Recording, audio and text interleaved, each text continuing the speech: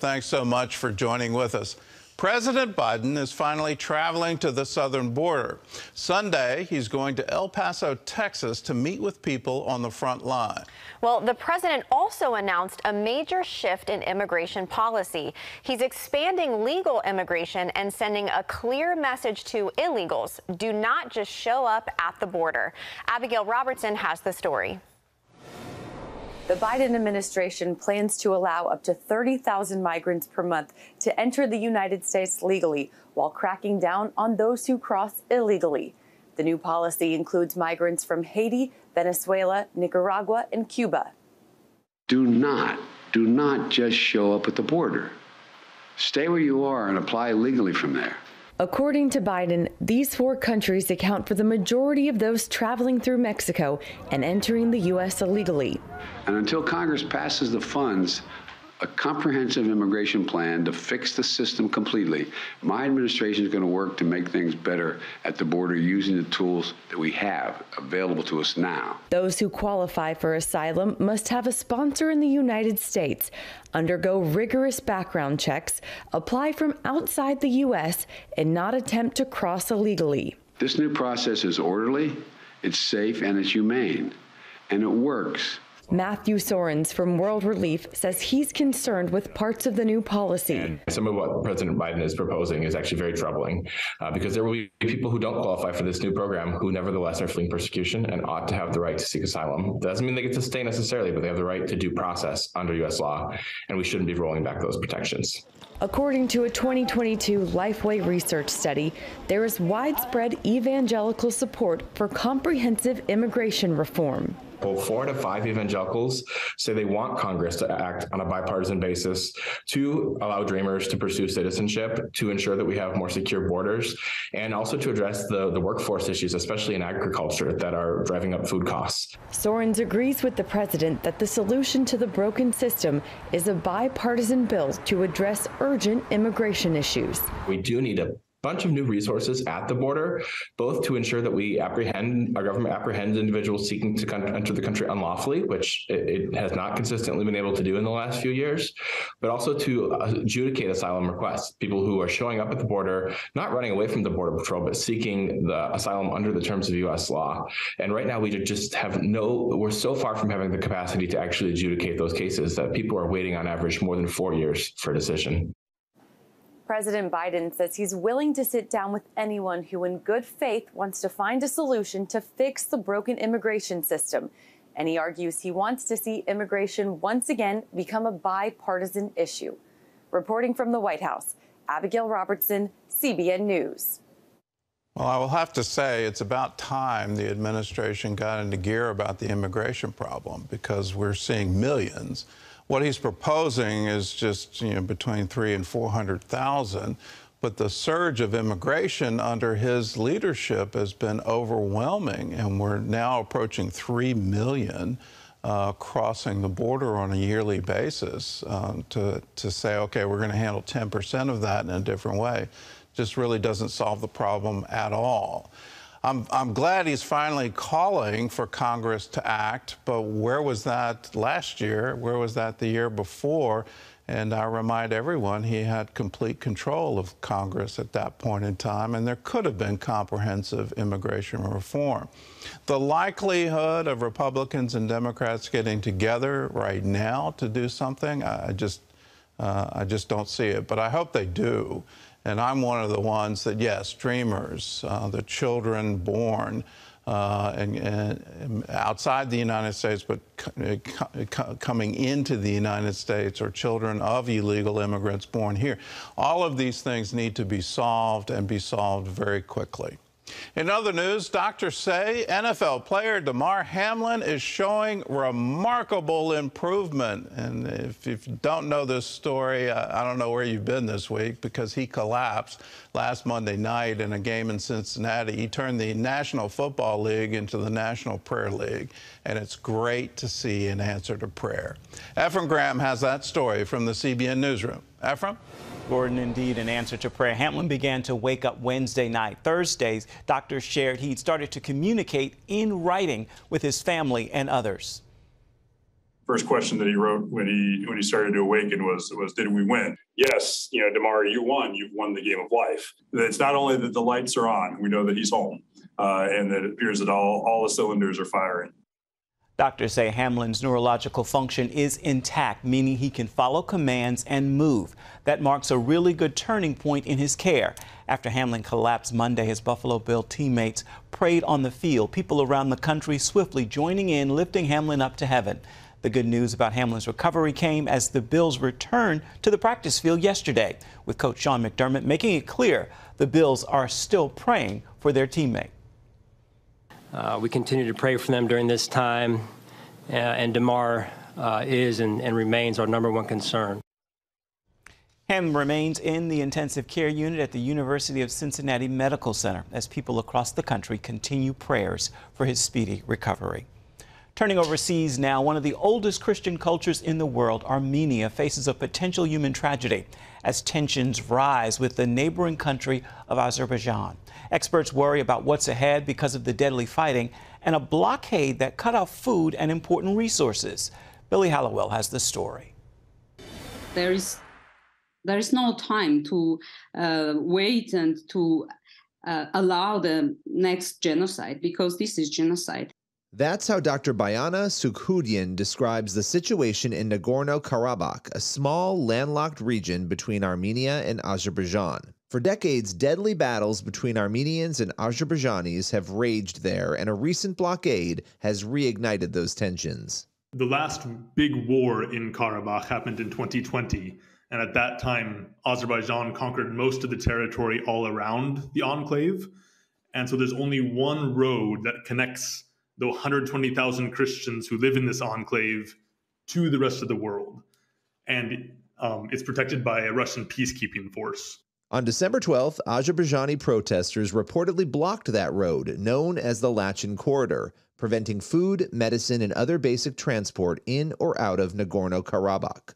I'm a pediatric neurologist. Together with my colleague, we um, saw many children with epilepsy um, who have to take anti-seizure drug to um, get free of seizures but now there is shortage of these drugs and not only these drugs are not available but also some painkillers and antibiotics as well as hormonal therapy which is very important in acute situations in addition with that there is um, shortage of baby formulas the blockade sparked immediate condemnation, with critics across the world calling on Azerbaijan to halt the obstruction.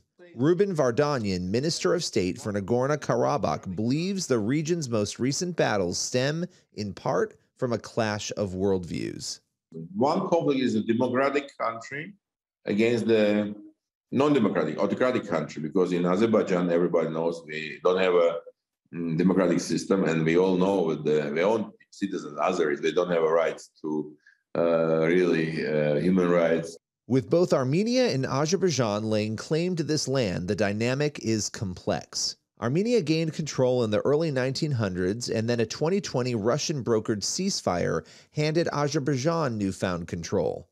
Joel Veldkamp is among those who worry the worst is yet to come for Armenia, one of Christianity's oldest communities. I think this is probably the prelude to an Azerbaijani armed attack on Nagorno Karabakh. Um, and if that happens and Russia does not step in, Armenia is probably not strong enough to stop them from conquering the whole region. There will be massacres. And at the end of it, this land, which is the ancient homeland of the Armenian people, this is where their alphabet was designed, it has some of the oldest churches in the world, will be completely destroyed. This is Billy Hallowell for CBN News. Here in the United States and in other countries, as the new year begins, resolutions are usually a big subject. For many Christians, spending more time in the Bible tops that list, including reading it all in a year. As Wendy Griffith reports, many resources are available that can help turn that resolution into a reality. It's a big book, and for Christians, it's the most important book that we ever read. But for many, it can also be the most challenging, especially if you want to read the entire Bible in a year. Actress Patricia Heaton reached that goal in December. And I finished it today. I can't believe it. I had two pages that I checked off all the time, and this is the second page. And um, as you can see, it's hanging on by a piece of tiny thread of paper. Um, I just went through and kept checking off and checking off every day. You know, some days were just revelatory. I saw things I had never seen before. And some days were kind of a slog, mostly Old Testament stuff. Known for her TV roles in Everybody Loves Raymond and The Middle, Heaton used a reading plan from the Gospel Coalition to help her with her goal. At CBN, we make it easy as well. Just go to CBN.com, click the Faith tab, and subscribe to Read Through the Bible in a Year. Each day, you'll receive selections from the Old and New Testament delivered straight to your email. You can also download the CBN Devotional Bible app for a plan to read the entire Bible in a year. Some may wonder why so few Christians have read the entire Bible, all 66 books, from Genesis to Revelation. Dr. Corné Bekker, Dean of Divinity at Regent University, says So I often think we are a little bit intimidated by the history sections as well as the law sections within the Old Testament. But once we discover that it is life giving to read all of God's Word, to get the wisdom of the entire text, not only does it become doable, easy, but it becomes delightful. Dr. Bekker should know. He's read through the Bible 25 times and makes it a yearly discipline. What are the benefits of reading the Bible from Genesis to Revelation straight through? So there's an extraordinary text in Psalms 19 that describes the benefits of meditating on God's word on a daily basis. And listen to what it says. The law of the law is perfect, reviving the soul. Isn't that something that we need? Secondly, it says the testimony of the Lord is sure, making wise the simple. Man, do I need wisdom? I need wisdom on a daily basis.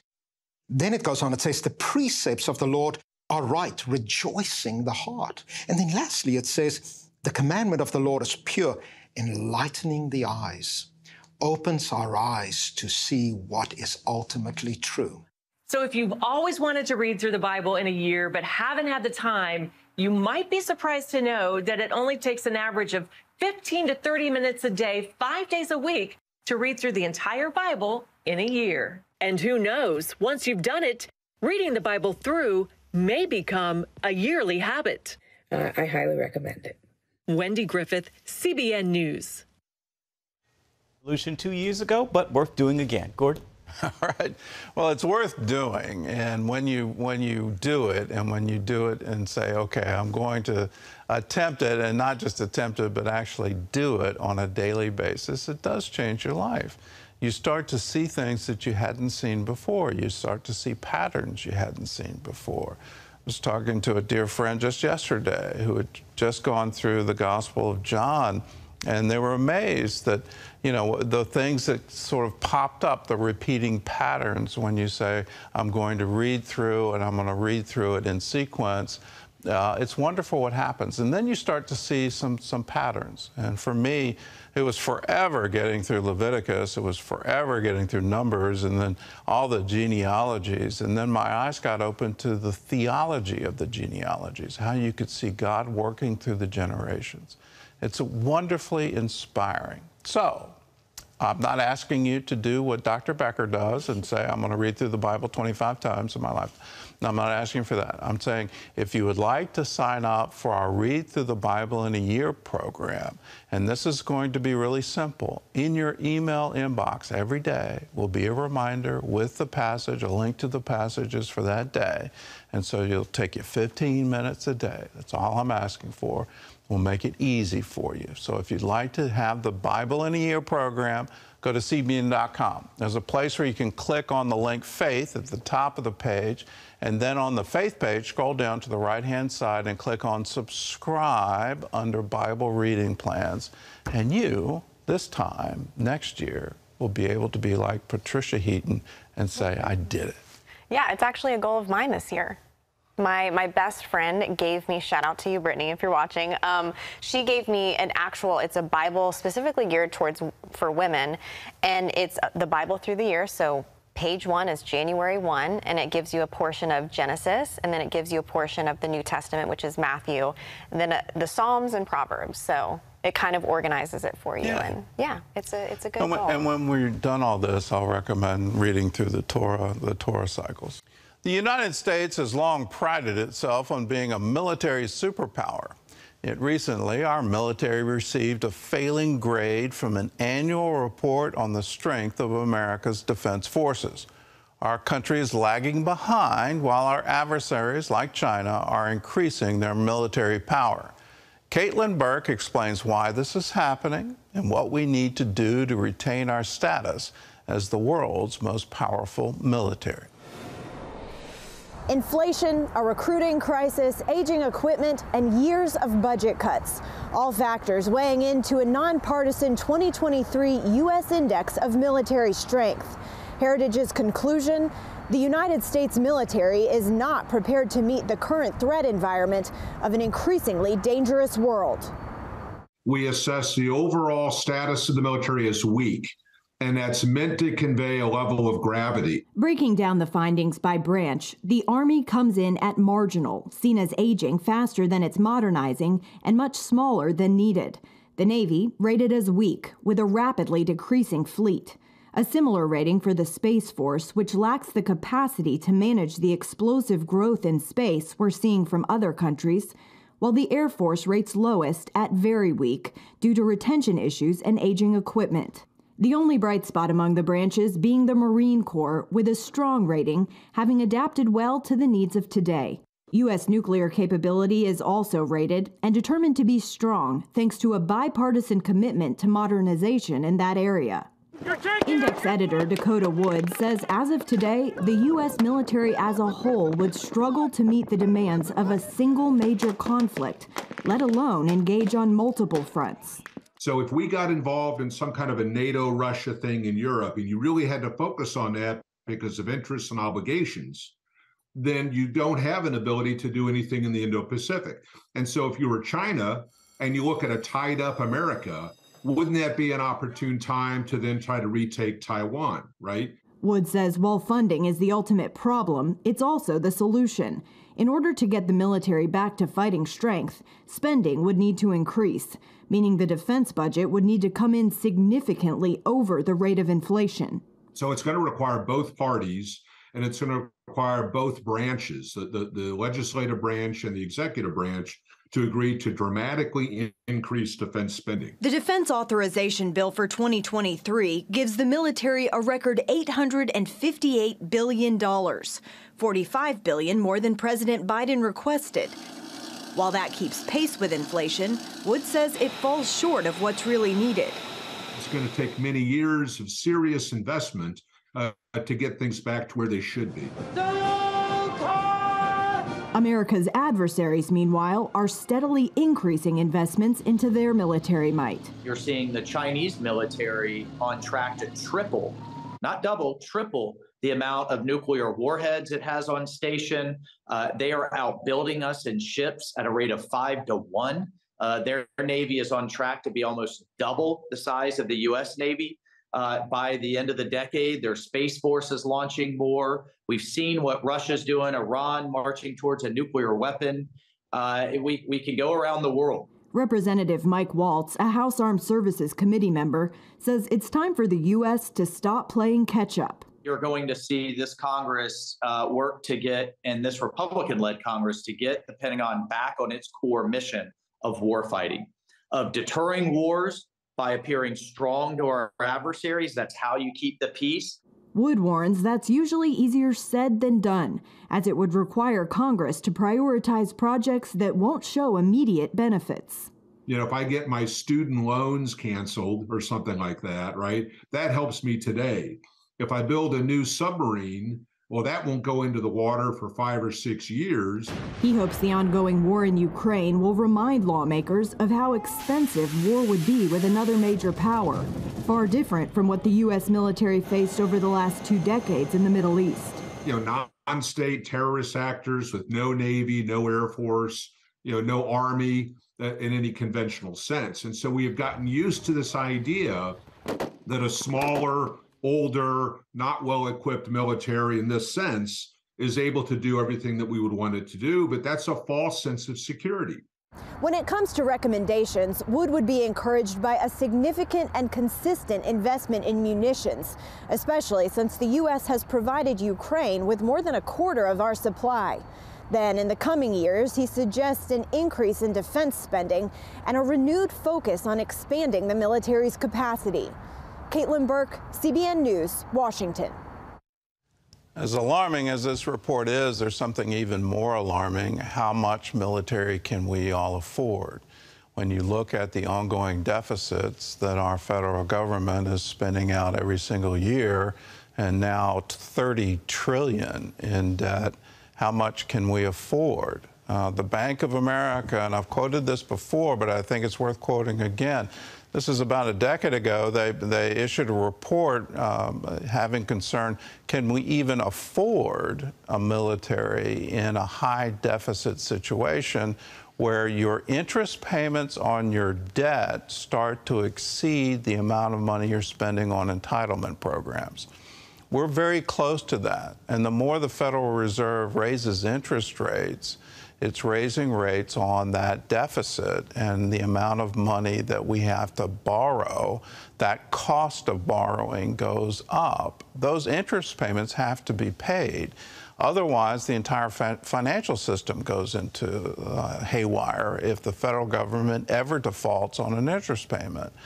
So, you know, how much is that? How much are we spending on interest on 30 trillion? We'll just start doing the math of how many billion it takes on an interest payment uh, on a $30 trillion debt. You add one interest percentage point, you're adding uh, 100 billion uh, to 10 trillion. I mean, it, it, these, these numbers start to stagger you. And at that point in time, it becomes unsustainable. We're fast approaching that, and nobody's raising the, the, the big flag to say, uh, wait a minute, guys, we're spending ourselves into oblivion. And it's not a question of is our military eroding, but is the entire economy, entire government, are we going to default on our bonds? Is that going to throw the world economy into a deep recession? Is this going to crater everything? Uh, no one's looking at that. Nobody's paying attention to that. But Bank of America said it about a decade ago. How much can we afford? And in our interest payments, are we going to spend ourselves into oblivion? Ashley? Well, in 2014, the movie Left Behind, starring Nicolas Cage, earned more than $30 million at the box office worldwide. The sequel to the film opens in select theaters on January 26th. Left Behind, The Rise of the Antichrist, stars Kevin Sorbo and, and also features his wife, Sam Sorbo. And here's a sneak peek. If someone had told me that millions of people were just going to disappear, I, like you, would have said they were crazy. Was it the rapture? I saw it happen. The world is suffering. We are on the brink of mass insanity. What happens to the rest of us? Doesn't it seem strange that it's still so easy to dismiss it, even though we saw it with our own eyes? Left Behind Rise of the Antichrist will be in theaters nationwide for a limited run beginning January 26th. All right. Well, welcome back to the 700 Club. Kevin and Sam Sorbo, thank you guys so much for being with us this morning. It's great to be here. Thanks for having us. You guys Very are... excited about this movie. Very excited. Oh my gosh, so are we. And you guys are in California, right? No, we live in Florida. We left oh California four years ago. I was going to say, you guys are up really early, but we're on the same time zone, I think. So, well, welcome right. back to the club. We're so happy to have you guys. Your new movie is a sequel to the 2014 movie Left Behind. Where does your movie pick up in that storyline? It's uh, actually six months later now. So it's, it's time for people to uh, either deny what had happened or make up stories about what had happened, where people to sort of do a little bit of soul searching and find their way back to uh, having hope and redemption in their lives. It's uh, it's a wonderful movie with a great cast, and Sean McDonough was amazing, and Corbin Bernsen uh, Bailey Chase, um, Sam's in it. I mean, it's fantastic. yeah, she goes hits me. well, what current events do you guys feature in the film? Oh, that's the that's the most amazing thing. So right before they went to shoot, the director or producer said, "Wait, wait, wait. I need to rewrite the script." And he wrote in a story, he wove in a pandemic that has recently happened into the storyline. So it really uh, it addresses a lot of what we've been seeing in the culture recently and uh, and in politics and stuff without getting too specific, without drilling down into actual events. It sort of reflects the the, the events that we've all just and it, it was through. it was the producer. I directed, by the way. So oh my god, sorry, producer writer. You said director producer. I, I meant writer. I'm sorry, the writer producer. Don't take away that hard work I had in this movie. you did a masterful job, and um and so it does. It, it's a little bit of a commentary. In fact, I love the subtitle of the film, "A True Story That Hasn't Happened Yet." Yeah. Mm, wow, that's powerful. Well, Kevin, tell us about the character that you specifically play in the film. Well, I took over the role that Nicolas Cage did in the movie eight years ago, Rayford Steele, a pilot in it, and he's going through his own uh, you know, six months now since his wife has disappeared and his son has disappeared. He always sort of made fun of her for her religious beliefs, but now he he knows what had happened, and uh, he he's admitting to it that he was wrong. So he's on his own search right now to find out uh, what happened to his wife, how it happened to his wife. He goes to the church that she goes to. Uh, you see in there um, in that trailer that the pastor is still there, which I love that they wrote that in there. That not every pastor is going to be saved because you see what's going on in our world right now with the with the woke culture happening everywhere. So it was a wonderful journey for for me to play as character that comes to a place of redemption and hope in his life. Yeah, that seems to be a character that you like to play from your other movies as well. True. Yeah. Well, Sam, uh, what happens in the scene that you and Kevin actually have together? Can you tell us a little bit about that? Well, without giving away too much, you know, I'm mm-hmm. playing a character who is also struggling with her faith, who knew his wife and just could never bring herself to to buy in. And so now she's she's actually opened her eyes to seeing what's actually going on. And I like it because I, my work in education uh, sort of puts me in the position of trying to convince people that they've been deluded by their schools into believing that the schools are actually accomplishing education. So it's sort of a parallel uh, thing. And so to portray this um, this person coming to truth is uh, very powerful. I think the scene it was a very very emotional scene. Yeah. Um, and it was a lot of fun. Yeah. Well how was it acting with one another? I mean i know that's how you guys met right? You met on set of hercules like do you enjoy being around one another on set or is it something difficult or does it come natural? I think we have good battles, but they're creative battles, which is a good thing. No, but it, it is. I mean, everybody's got their idea what scenes should be played out. I mean, everybody reads a book. They all say the book is better than the movie because there's reasons for that because we all have a different picture in our mind as we're reading scripts and books. But um, she has great ideas. I think I have great ideas. I'm always open to listen to other people. I mean, I don't go on the set and and tell everybody what they need to do because being an actor, I know what it's like to be on that side of the camera as well. So I love actors to work things out amongst themselves on sets because when you're on a location, it's quite different than what the writer wrote sitting in his office somewhere.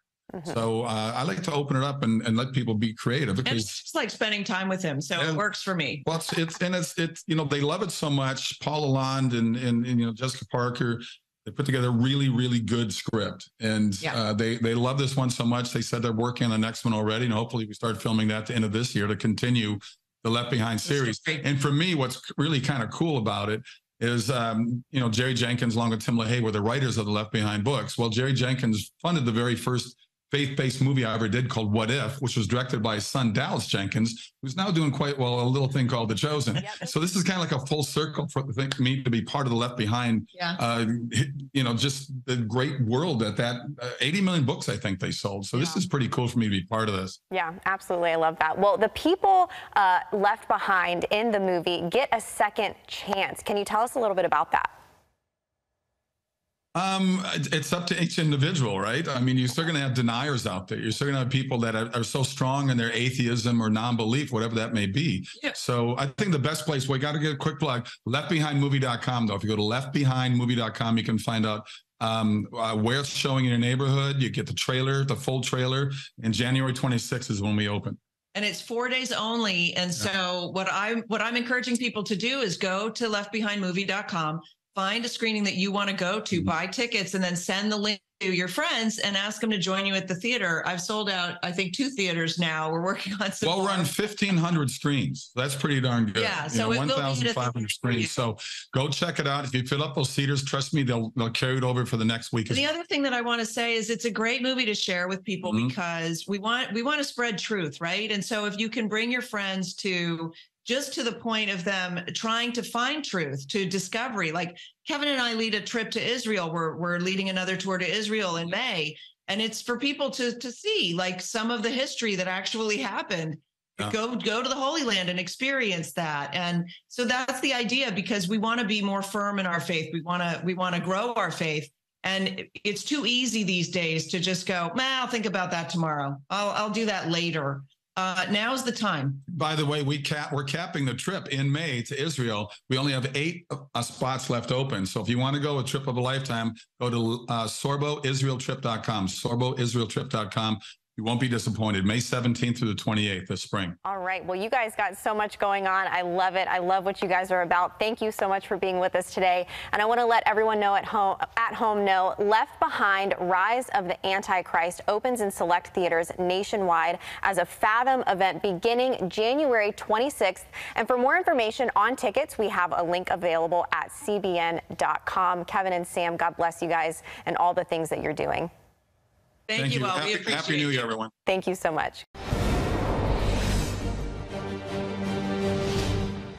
Welcome back to the 700 Club for this CBN News Break. California was pounded Thursday by a storm that brought hurricane force winds, surging surf, and heavy rains, knocking out power to tens of thousands, causing flooding and contributing to the deaths of at least two people, including a toddler whose home was crushed by a falling tree. The seaside village of Capitola in Santa Cruz County suffered possibly the worst damage as waves that were forecast to top 25 feet crashed into homes and restaurants. CBN's Operation Blessing is providing housing for those in need. Dorcas, a single mother, lived in a small one room mud hut in Peru with her three children who still lived at home. They slept on the hard, uneven ground on a blanket.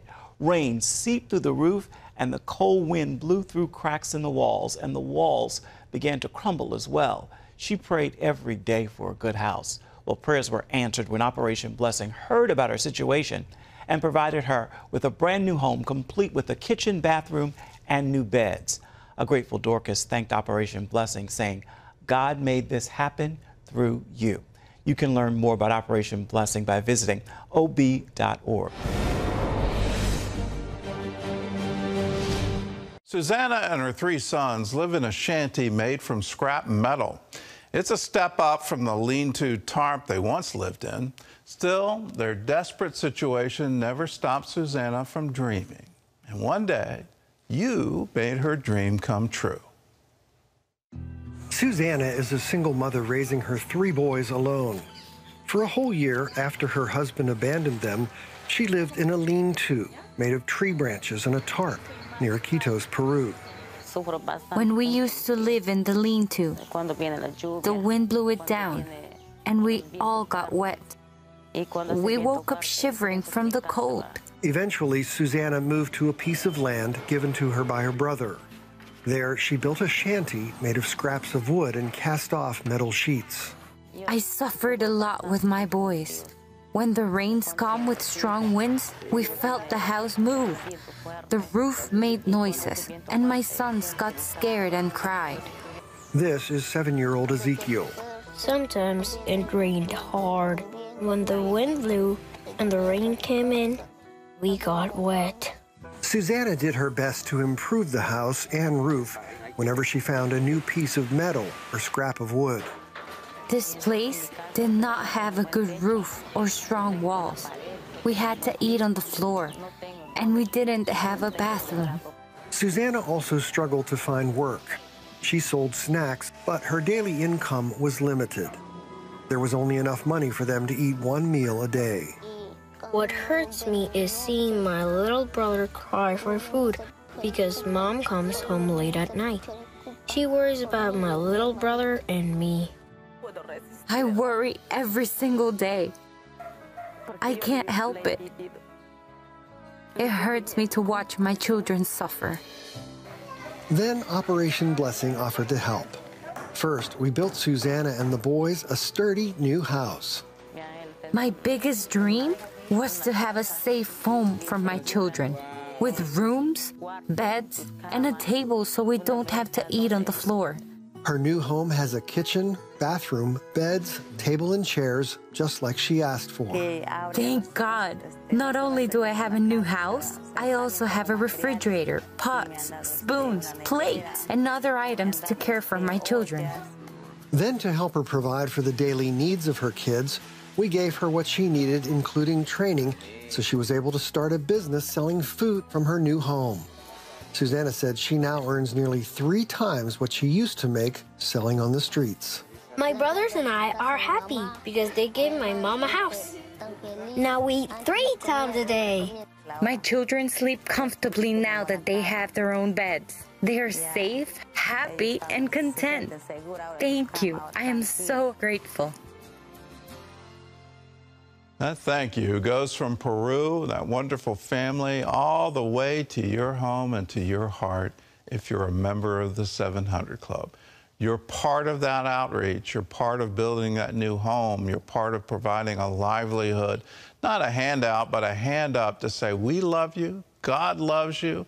We want to see you thrive and survive, not on one meal a day. God wants you to have an abundance, and we want to help you get there. That's you when you're a member of the 700 Club. That's what you're doing every day. All around the world, you're doing it because you cared enough to give to say, Yes, I want to be a part of it. I want to join with tens of thousands of people that say, Yes, let's make a difference in the world. Let's be there for people in their time of need. Let's provide for them. And most importantly, let's preach the good news all around the world. You're a part of all of it when you join with us. If you're not a member, I encourage you to join with us right now. All you have to do is pick up a phone and call us 1 800 700 7000.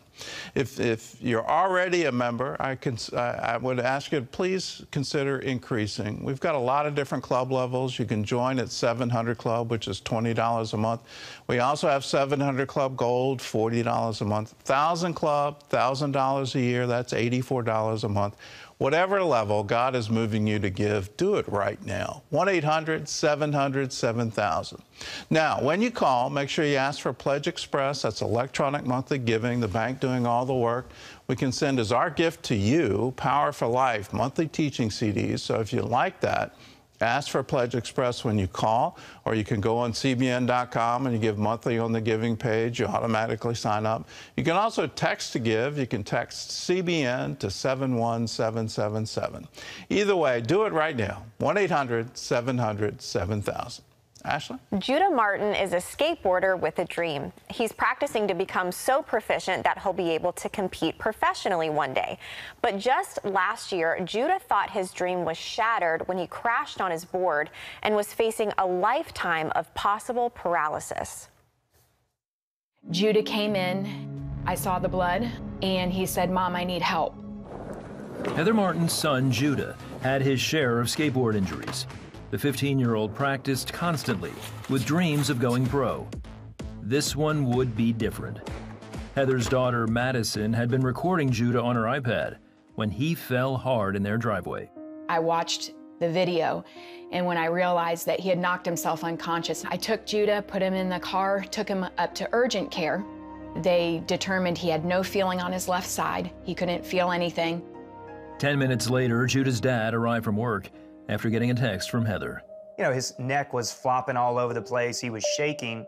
His body started to go into shock and he was trembling. And at that point, you know, my heart began to break and he had his eyes closed. So I, I grabbed his head and pulled him into my chest and just started praying in the spirit over him. And as I grabbed him to pray, he reaches up, grabs my arm, and says, Dad, don't worry.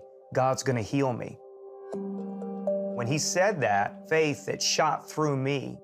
Urgent care doctors called 911 to have Judah rushed to the trauma unit at the Children's Hospital of the King's Daughters in Norfolk, Virginia. By the time the ambulance arrived, Over a dozen doctors and nurses were waiting for him. And I think that that is when I started to come unglued a little bit because of how serious it was. It was just a bustle of activity. I mean, there were so many people poking, prodding, asking questions. And at that point, the neurosurgeon and the team that was in there, he looked and he said, get him into a CAT scan and an MRI immediately. And I just broke down and I started crying. And she met us after that first scan. Everything kind of started to come unraveled at that point. They said, hey, listen, there's something going on. We don't know what it is, but we just found a spot on your son's brain. And when they found that spot, man, it just is like a gut punch. Scans revealed the tendons connecting Judah's spine were almost completely severed. Judah could be paralyzed. There was a moment where I felt the Holy Spirit ask in the most gentle way, In this moment, do you still believe that God is good? And I became so completely and utterly convinced by the goodness of God not even knowing what we were going to hear, what we were going to see, what they were going to say. Jacob stayed with their son overnight while Heather went home. He knew he needed to pray, but says God challenged him in a different way. I looked at my son, and at that moment, I just felt like prompted. At the Holy Spirit was like, take a picture of him, put it online. And I felt like the Lord challenged me, say, I want you to trust your friends. I want you to trust the body of Christ to get up and pray for you and your family. And at that moment, it was like three in the morning. I was like, probably no one's going to see this. But for some reason, it just caught fire. And we, we were getting texts from all over the country at that point. First thing the next morning, one of Judah's doctors came into his room with test results. Judah had suffered a near fatal concussion and would need a neck brace for his body to heal. But there was something else. The first doctor came in at around 7 and said, Hey, we don't know what happened, but that spot on your son's brain is gone, completely gone. I remember jumping up in the hospital room and I was like, yeah, come on, Jesus.